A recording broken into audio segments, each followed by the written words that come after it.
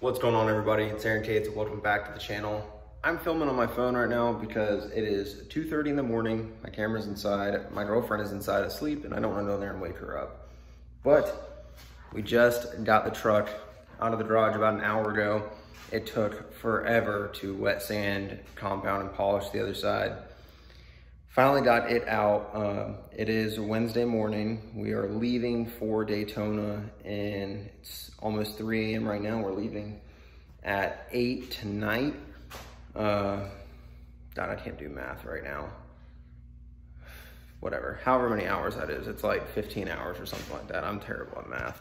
And I've been up since 7 a.m. and it's 3 a.m. right now.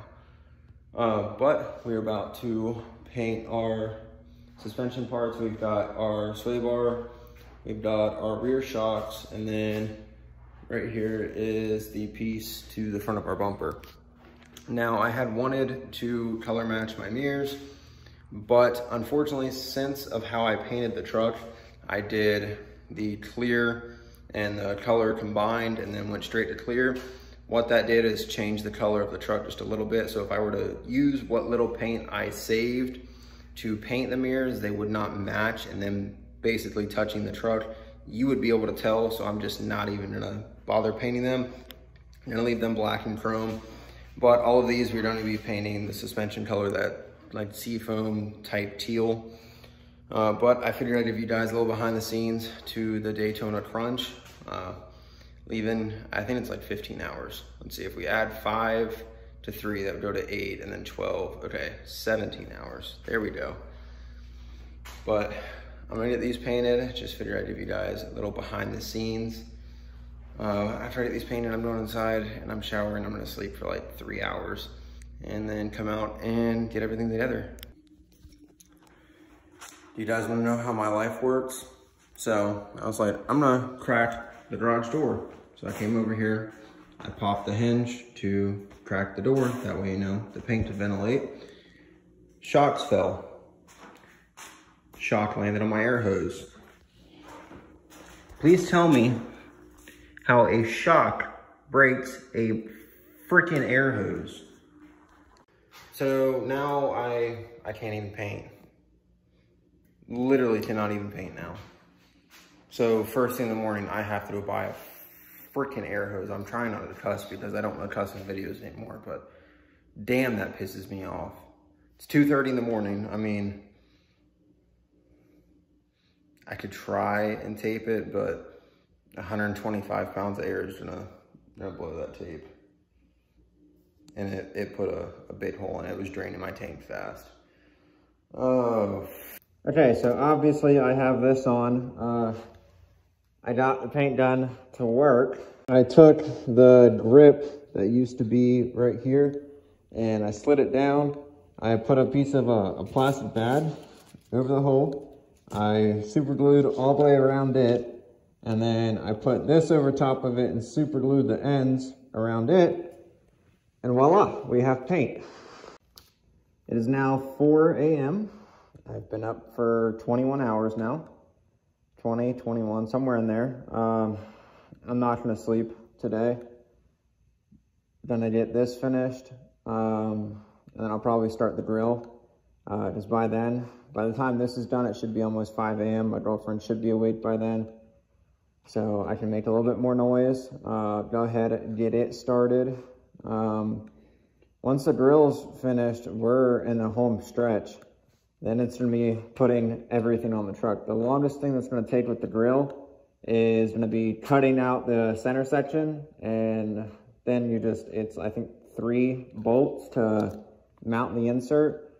So the longest part of that is gonna be cutting the center out.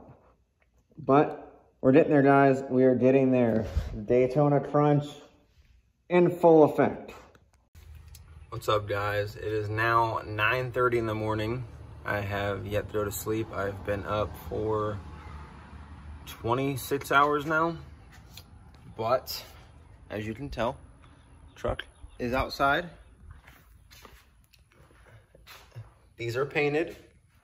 And we have our new tin dust Customs grill on. So this was a little complicated. Um, it didn't come with instructions. So if you guys are interested, I have a code. It's Aaron Cates. I think it saves you, it's either 10 or 15% off, but it saves you some money. So you cut the center section of your grill out. You cut all the little tabs all the way around. And then there's these brackets that go in it to hold these two pieces together. Because after you cut this piece out, these are no longer connected. So this goes in and it makes it a little bit difficult because the grill itself doesn't want to fit in.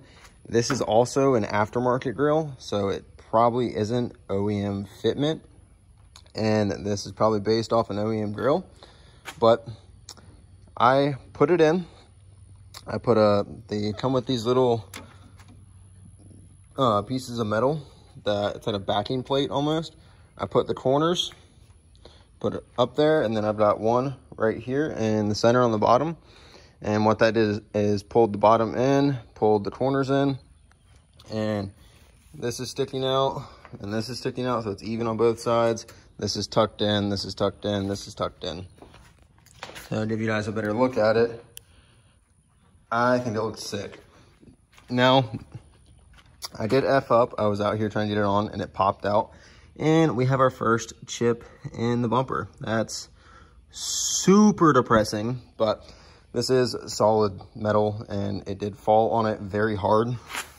It scratched the living crap out of the grill, but I mean, nothing you can do about it. I'm sure we're gonna get rock chips and stuff like that, so nothing we can do. But hey, truck is looking good. I've got this on, so now I'm gonna put my headlights back in, put our pods back in, get our front plate right here put in. Um, then do our tail lights, our bumper in the back, uh, paint the frame. And then think we're just about done. I've got this double-sided tape right here to hold in these plastic pieces. I would like glue them in, but I would like to paint them in the future. I did not have time, so they're staying black. Um, I do have a little bit of paint. I could spray them. They would match the grill, um, but I'm, I'm not painting anything else today. I'm very tired. Oh, I said I yawn. Oh. But if I can get all this done before 3 o'clock, I get to take a nap. If it's after 3 o'clock, I'm just going to stay awake. And I have to drive three hours south tonight. So come 7 o'clock tonight, I will have been up for 36 hours. So, not looking forward to this. Right, real quick, let's get a look at this paint. First time I've seen it in the sunlight. Now there are some dull spots and whatever this hazing is right here, I don't know what's causing it. I cannot seem to get it to go away. I'm gonna try washing the truck today and maybe that'll fix the problem. Maybe it's a bunch of compound left over.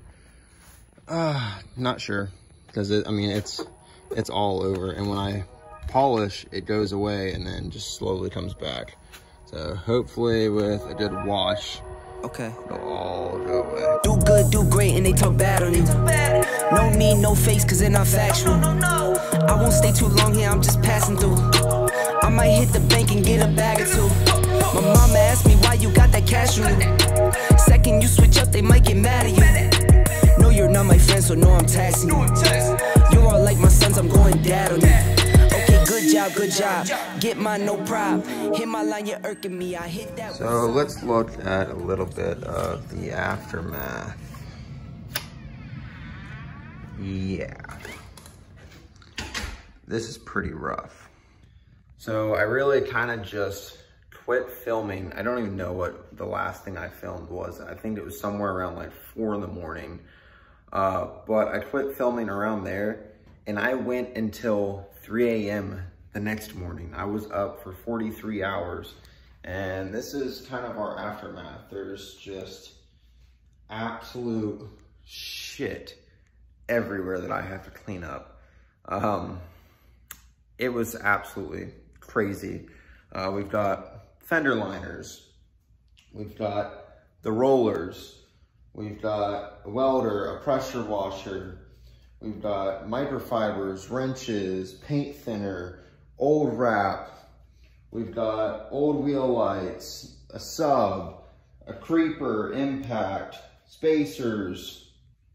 We've got just everything everywhere because I was trying to get the truck finished. So the truck was supposed to be like hopefully done by like noon and I was gonna come inside and I was gonna go to sleep.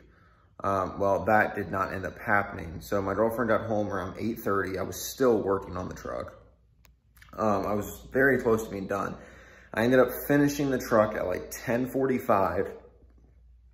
I came inside, I showered, um, changed clothes, got everything packed. We left at like 11.30. Uh, maybe it was probably closer to midnight. We left around 11.30 to midnight and drove down to Florida. We got down to Florida about 2.30 in the morning. Um, got everything like what we needed out of the truck. We stayed at one of my sister's houses, um, which if you're watching this, thank you for letting us stay there uh, all the times we come down. Um, but then we went to bed at 3 a.m., woke up at 7 a.m. and went to my buddy Brandon's house to get the Ford just completely ready. So it was on the rollers. I had three inch spacers I needed to put on and the 42s. I had a sticker for the back window on the Chevy that had to be still completely weeded out and release tape on and then it put on and then the release tape, we had the wrong release tape and it messed the sticker up and we had to go to Joann's, get more vinyl, more release tape, had to download the software on my computer to use my buddy's wife's Cricut and cut the vinyl, get it all put on the truck. We are supposed to leave for Daytona around like 10, 30, 11. We ended up leaving for Daytona at like 1.30. But now I should probably show you guys the final look of the Chevy because it, it honestly, it came out pretty freaking good. There's still a little haze in some spots on the paint and I, I don't know why, um, like the whole driver's side's perfect. There's not a, like a single thing wrong on the driver's side, but the passenger side has a haze to it. So if we looked, we've got our piece on the bumper. We got our lights in, got our grill in. I showed you a lot of that. Everything underneath. Um, I did not get to get these color matched. Um, I'm half tempted to try and order some like chrome vinyl and do it that way because I feel like the chrome vinyl would look really good right there. But got everything all together. Got our wheels on, got our new spikes on, our mirrors. Like, as you guys can tell, the driver's side is like flawless. There's there's not a single thing on the driver's side. It's perfect. Tailgate, pretty much perfect. Now this is the, the side, oh, of course it's super dirty right now, so that doesn't help. But there's like a weird haze in some spots. Like there's a weird haze right here right here. Um, more right here. Another one right here. There's just all these different hazes. Like it looks insane on camera, but when when the truck is semi-clean, you can kind of tell depending on the lighting. And I don't know why that is, that it has this weird haze on it. Uh, but every, a lot of the stuff I've read online says to wax the truck after you compound and polish it because there's going to be like little micro scratches left over from the polishing that the wax will fill in and give it that more glossy look. Well, this being a new paint job, I can't wax it for two months. Um, we're already into about three and a half weeks, uh, close to a month of this paint job. So I'm gonna give it another month and then I'm gonna go around and wax it. And hopefully that cleans it up quite a bit, but it absolutely came out sick. This video kind of was like all over the place. Really, all of my videos have been all over the place. I think, like, you guys will see, but I did a really terrible job filming in Daytona. And I think that had to do with how exhausted I was. Um, I didn't get any proper sleep. Even like in Daytona, I didn't sleep all that much. Um, and I think that really affected how how I did YouTube because I, I did a really terrible job at it. Um, just because I think I was exhausted. But figured I would close this video out, show you guys the finished bit of the truck, the, the insane Daytona crunch that we had. Came to an end very fast. God, these bugs are just bugs are attacking me. Um, but we got the truck done. I was awake for 43 hours and then slept for four hours, woke back up, and then I was awake until 2 a.m. that night helping Denver Mile High Duramax put the stickers and everything on his truck just to wake up again at 7.30 in the morning. And I, I, really did that like the whole weekend. So I don't think I got more than like five, six hours of sleep the entire weekend. Um, came home, took yesterday as a complete rest day. Now today I'm finishing up all my videos. I don't have any outros filmed like I'm doing now. Um, really, I only have one video for Daytona and it's a mix of like all three days because I did such a terrible job filming. I didn't get to film the people's trucks I wanted to film. I wanted to do a couple different videos in Daytona. I wanted to link up with Denver, do a complete video on his truck, a video with It's Ham, just do all these different videos that didn't happen. But, you know, we've got more, more chances in the future. So this is the finished product of the truck.